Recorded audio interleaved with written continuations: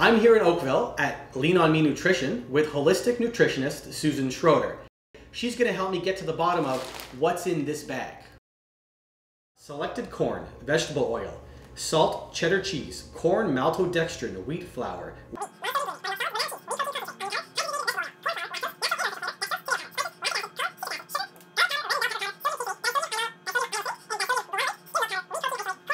And last but not least, calcium hydroxide. What effect does this uh, laundry list of unpronounceable ingredients have on the human body? Well, Justin, there's over 30 ingredients in there. It's kind of a chemical concoction that your body isn't really going to get any decent fuel from. This is really kind of a nutritional train wreck.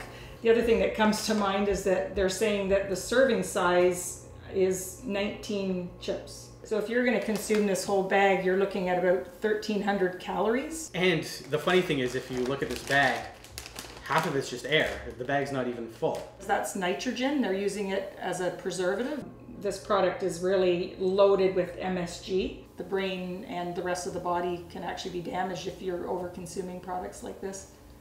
So now Susan's going to show us some healthier alternatives. The first option is some uh, blue corn organic um, corn chips.